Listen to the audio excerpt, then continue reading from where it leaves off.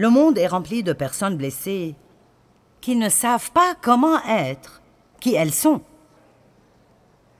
Elles n'agissent pas comme elles-mêmes parce qu'elles pensent que les personnes qu'elles sont ne valent rien du tout. Et alors elles prétendent et essayent d'être quelqu'un qu'elles ne sont pas, elles essayent d'être comme quelqu'un d'autre, de mettre des masques.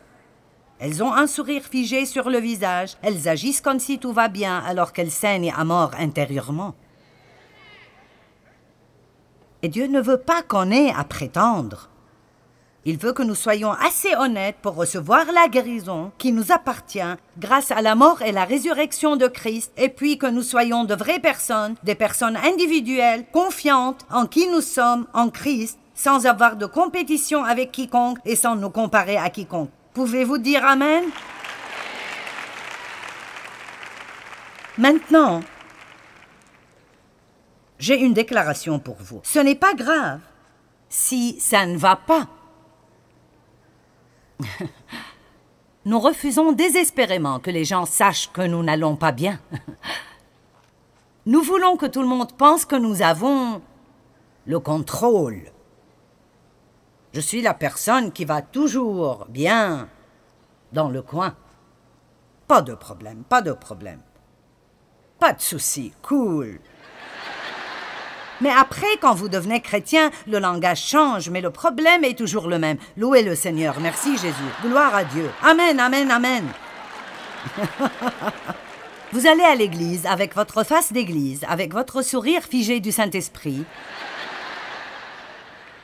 avec le vocabulaire chrétien que vous avez appris.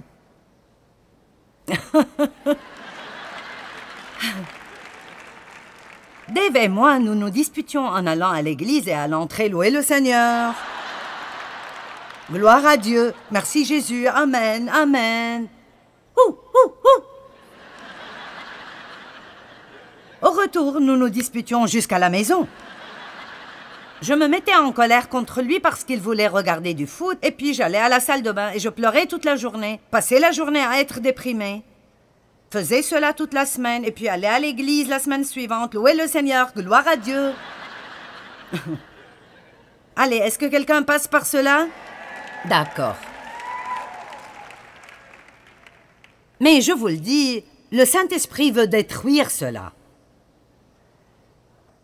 Laissez-le détruire cela avant que vous ne soyez détruits. Et puis laissez-le reconstruire pour que tout soit en ordre.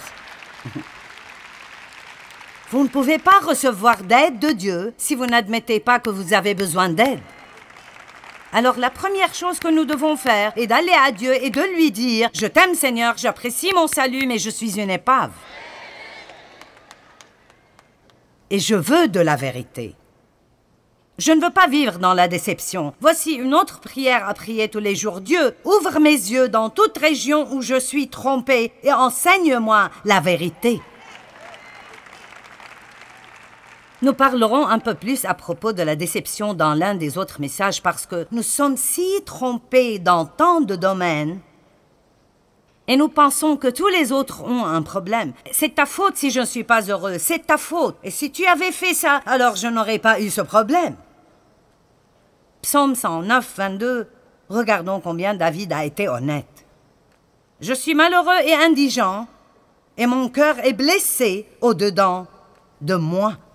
Je vous le dis, le psalmiste David était étonnamment réel avec Dieu. Comme vous lisez les psaumes, vous verrez qu'il ne jouait pas de jeu de prétention. Laissez-moi vous le dire encore, ce n'est pas grave si ça ne va pas. Si vous n'allez pas bien, vous n'avez pas à prétendre que vous allez bien. Vous pouvez dire, j'ai besoin d'aide.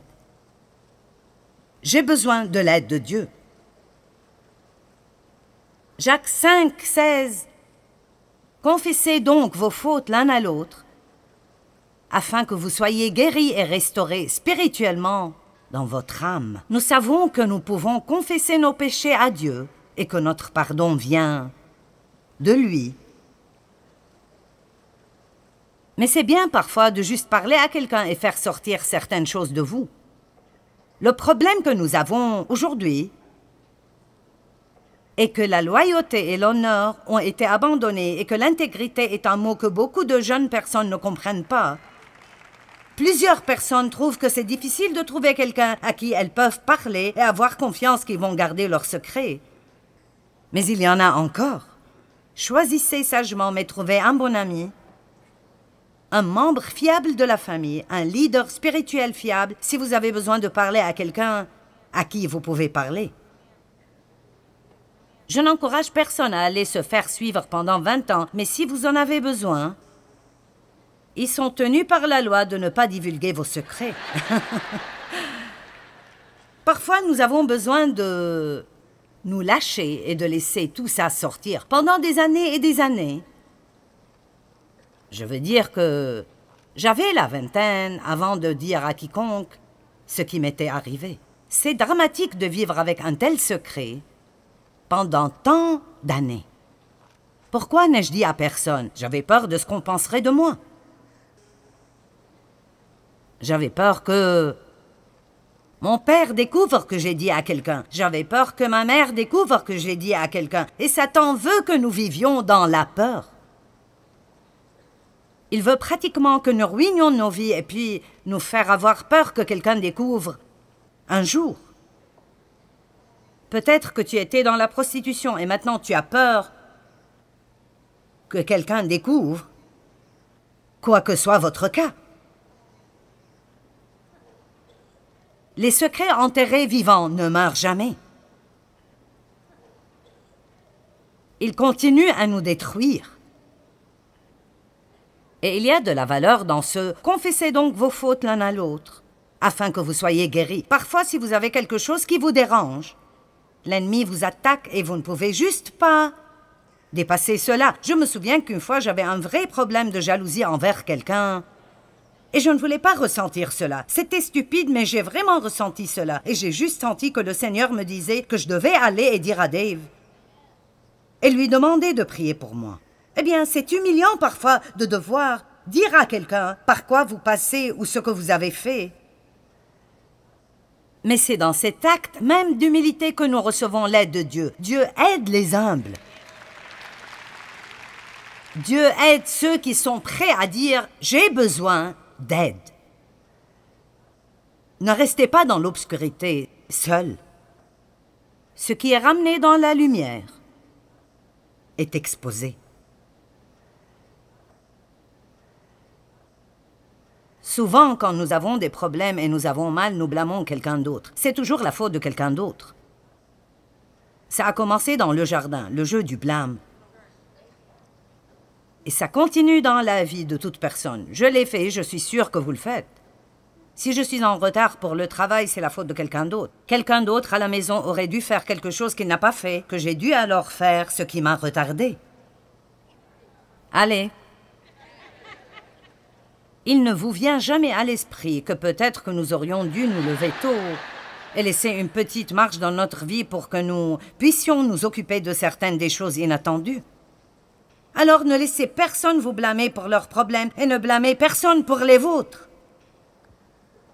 Vous dites, eh bien, ce n'est pas de ma faute, quelqu'un m'a fait ceci ou m'a fait cela. Eh bien, vous savez, peut-être que la façon dont vous êtes maintenant n'est pas votre faute, mais ne laissez pas cela devenir une excuse pour rester ainsi. Je veux dire, vous savez, quand j'ai commencé à découvrir que Dieu s'occupe de toute ma vie, et ceci n'est pas juste une affaire où je suis sauvé et maintenant je me débrouille jusqu'à ce que j'arrive au ciel et alors je pourrai avoir un peu de joie. J'ai été étonnée quand j'ai découvert que j'avais une telle foire dans mon âme à cause des choses qui me sont arrivées dans mon passé et qu'il y avait une promesse dans la Bible pour couvrir chacune d'entre elles, qu'il n'y avait aucune peine avec laquelle j'étais obligée de vivre, que Dieu s'occupe de tout et j'avais besoin de découvrir ce qui était à moi à acheter, réglé et livré par le sang de Christ et j'avais besoin de commencer à ouvrir ces paquets et commencer à jouir de la vie que Jésus est mort pour que je l'obtienne. Peut-être que vous ne savez pas cela non plus. Peut-être que quelqu'un vous a traîné ici aujourd'hui. Peut-être qu'ils vous ont nourri et vous ont promis toutes sortes de choses si vous venez. Mais le fait est que vous êtes ici et vous n'êtes pas encore hors du bâtiment. Quand nous commençons une relation avec Christ, il y a un échange divin. Oh, j'aime cela. Il prend les mauvaises choses et nous en donne de bonnes. Je vous donne un exemple. Quand j'ai épousé Dave, je n'avais pas de voiture. Et Dave avait une voiture. Maintenant, dès que j'ai dit oui, j'ai eu une voiture. Qui a compris cela? Vous le comprenez maintenant, n'est-ce pas? Vous comprenez? Quand vous dites je reçois le Christ, c'est comme si vous disiez oui. Et toute sa bonté vient engloutir votre néant. Mon état de sans voiture a été englouti par des une voiture. C'était merveilleux. Tout d'un coup, j'ai eu plein de trucs que je n'avais pas auparavant. C'est une bonne affaire. Jésus nous donne la joie au lieu du deuil, la bonté au lieu des cendres, la louange au lieu de la dépression, le respect pour nous-mêmes au lieu de la honte, le pardon au lieu du blâme, l'espérance au lieu du désespoir, la justice au lieu du remords, et plus, et plus, et plus, et plus. Mais vous ne pouvez pas garder les cendres et avoir la beauté. Maintenant, ça devient sérieux. Vous dites, que veux-tu dire? Eh bien, vous savez, si vous voulez avoir la vie magnifique que Christ veut que vous ayez, alors vous ne pouvez pas juste avoir une humeur déplorable le jeudi et vous asseoir toute la journée en pensant à toutes les misères que tout le monde vous a causées pendant toute votre vie, et combien vous êtes énervé, et comment vous allez vous venger, et vous allez les exclure de votre vie, et je ne ferai pas ceci, et je ne ferai pas cela.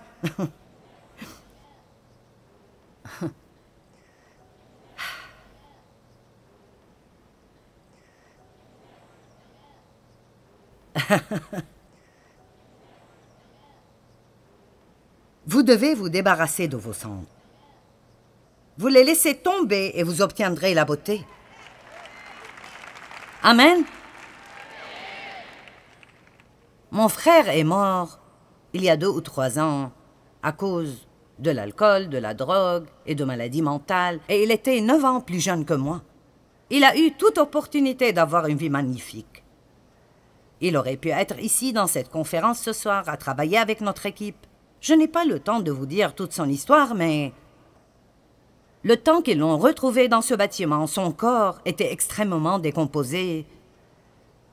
Et nous l'avons fait incinérer et ils ont renvoyé ses cendres et nous les avons prises au plus bel endroit que nous connaissons et nous avons dispersé ses cendres. Il n'a pas eu une très belle vie, mais nous voulions que ses cendres finissent dans un bel endroit parce que nous croyons qu'à cause de son passé qu'il a vécu, que Dieu l'a reçu chez lui. Il avait accepté Christ comme son sauveur. Il était juste un type mal en point. Il était juste mal en point. Dieu est extrêmement miséricordieux. Je crois qu'il comprend notre peine et même parfois notre perturbation. Et parfois, et je ne veux pas utiliser ceci d'une façon dégradante, alors ne soyez pas offensés si vous faites ceci. J'essaie juste de faire une analogie. Parfois, quand les gens font incinérer leurs proches, ils gardent leurs cendres quelque part. Et vous pouvez faire cela dans votre vie. Vous pouvez avoir les cendres de votre passé et vous pouvez les garder quelque part. Peut-être que vous ne leur prêtez pas attention souvent, mais là, parfois, vous voulez juste aller et les voir de nouveau.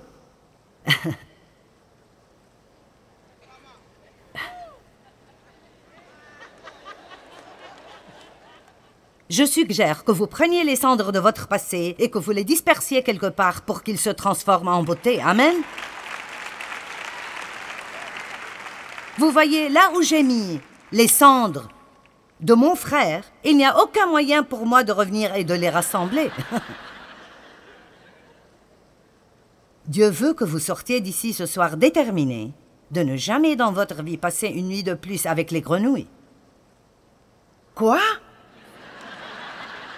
Comment es-tu arrivé aux grenouilles? Eh bien, allons à l'Exode chapitre 8.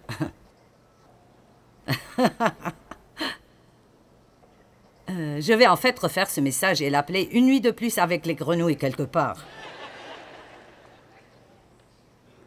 Exode 8. Les Israélites, dans l'esclavage en Égypte, ont crié à Dieu pour un délivreur.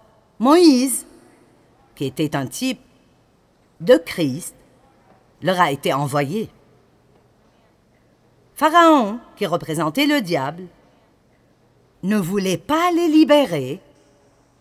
Alors, Dieu a envoyé des plaies l'une après l'autre et a dit, Tu auras une vie misérable jusqu'à ce que tu laisses mon peuple partir. Eh bien, l'une de ces plaies était les grenouilles. Exode 8.1. Puis l'Éternel dit à Moïse, Va vers Pharaon et tu lui diras, Ainsi parle l'Éternel, laisse aller mon peuple afin qu'il me serve. Et je suis ici ce soir pour vous dire que nous annonçons au diable, laisse aller le peuple de Dieu afin qu'il puisse servir Dieu. Amen. Je serai le porte-parole de Dieu ce soir et je dirai, Ainsi parle l'Éternel, laisse aller mon peuple. Amen. Si tu refuses de le laisser aller, je vais frapper par des grenouilles toute l'étendue de ton pays. Le fleuve fourmillera de grenouilles. Elles monteront et elles entreront dans ta maison, dans ta chambre à coucher, et dans ton lit, dans la maison de tes serviteurs, et dans celle de ton peuple, dans tes fours, et dans tes pétrins. Dieu peint une image ici, des grenouilles partout. Vous savez, si vous avez de la misère dans votre vie, elle est partout où vous allez. des grenouilles, des grenouilles d'apitoiement, des grenouilles de colère, des grenouilles d'amertume, des grenouilles de haine. Allez, vous me suivez? Des grenouilles. Bon, L'Éternel dit à Moïse, dit à Aaron, étends ta main avec ta verge sur les rivières, sur les ruisseaux et sur les étangs, et fais monter les grenouilles sur le pays d'Égypte. Aaron étendit sa main sur les eaux de l'Égypte, et les grenouilles montèrent et couvrirent le pays. Mais les magiciens en firent autant par leur enchantement et sortilège. Ils firent monter plus de grenouilles. J'ai pensé que ceci est intéressant parce que c'est un peu comme Pharaon, au lieu de prier Dieu, je comprends, débarrasse-nous des grenouilles, il s'est tourné vers des gens pour résoudre le problème, et tout ce qu'ils ont fait est d'amener plus de grenouilles.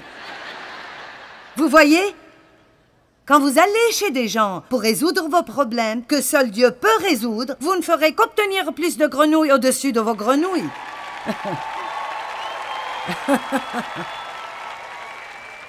Je veux dire, vous voyez une image, des grenouilles dans votre lit, des grenouilles qui mordillent vos orteils. Verset 8. Pharaon appela Moïse et Aaron et dit Priez l'Éternel afin qu'il éloigne les grenouilles de moi et de mon peuple, et je laisserai aller le peuple pour qu'il offre des sacrifices à l'Éternel. Préparez-vous. Et Moïse dit à Pharaon Glorifie-toi sur moi. Pour quand prierai-je l'Éternel en ta faveur, en faveur de tes serviteurs et de ton peuple, afin qu'ils retirent les grenouilles loin de toi et de tes maisons. Il n'en restera que dans le fleuve. Et Moïse a dit, OK, quand est-ce que tu veux que je demande à Dieu de te débarrasser des grenouilles? Et Pharaon répondit, Pour demain. Maintenant, voulez-vous passer une nuit de plus avec les grenouilles?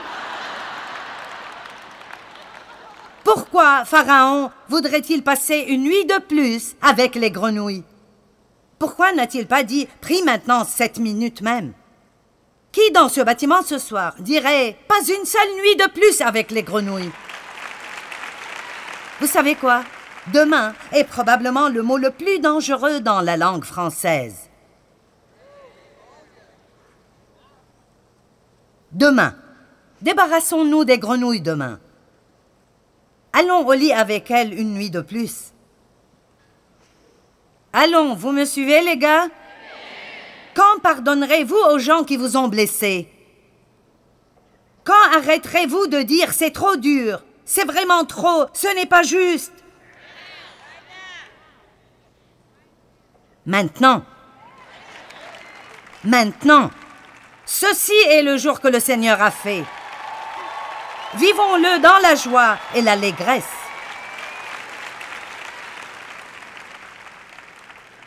Quel est le moment le plus important dans votre vie? Certains diraient le jour où j'ai reçu Christ. Pour certains, c'est peut-être ce soir. Certains diraient quand je me suis mariée, quand j'ai eu mes enfants. Vous auriez tous tort. Le moment le plus important dans votre vie est ce moment maintenant, parce que c'est le seul que vous savez sûrement que vous l'avez. Tous les moments d'hier sont passés. Vous ne pouvez pas aller en arrière et changer ce que des gens vous ont fait. Mais vous pouvez prendre une décision aujourd'hui que vous ne passerez pas une nuit de plus avec les grenouilles. Vous ne laisserez pas ce que quelqu'un vous a fait il y a 20 ans continuer à ruiner votre vie. Vous devez persévérer et vous obtiendrez la beauté au lieu des cendres, la joie au lieu du deuil, la louange au lieu de l'abattement. Amen.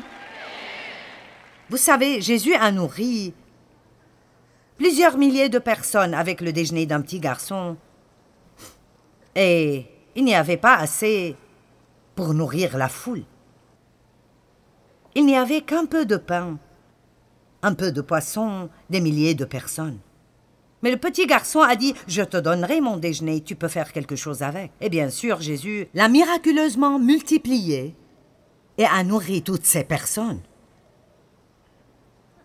Écoutez, si vous donnez simplement à Dieu ce que vous avez,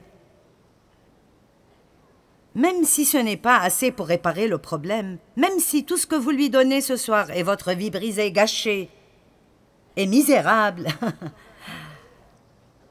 il fera quelque chose de miraculeux avec et il peut utiliser même votre passé brisé pour nourrir beaucoup de personnes. Amen.